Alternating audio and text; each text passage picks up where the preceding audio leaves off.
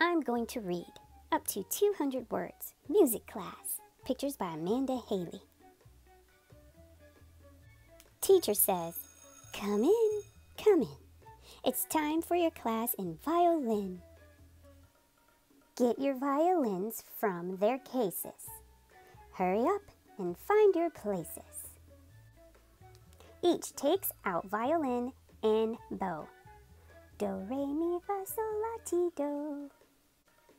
Teacher plays a lovely tune. All wish that they will learn it soon.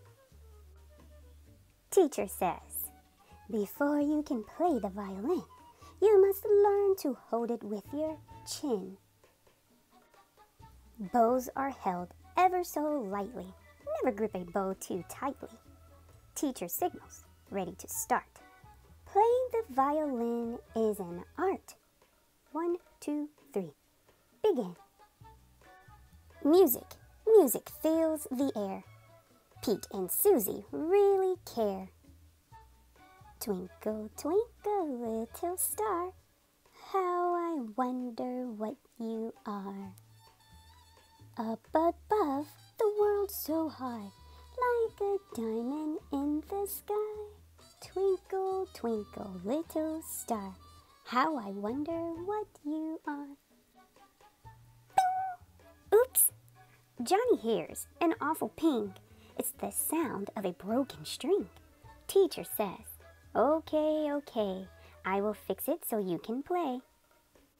Johnny's violin is really small, but he dreams of Carnegie Hall.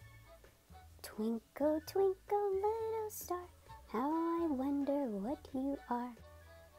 Up above the world so high, like a diamond.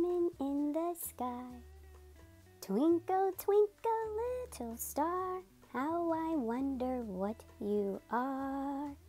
Teacher says, all take a bow.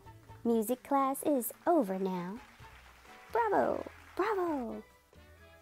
Oh, how quickly time did fly. Now it's time to say goodbye. Thanks for joining us, guys. And remember that AM and PM story time is for any time of the day, whether you're just waking up, noontime snacking, or bedtime is happening. Stop by and enjoy a book with us.